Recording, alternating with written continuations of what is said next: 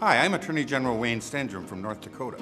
And I'm U.S. Olympic figure skater Ashley Wagner. Parents, you wield the greatest influence over your kids' decision to drink or not to drink alcohol.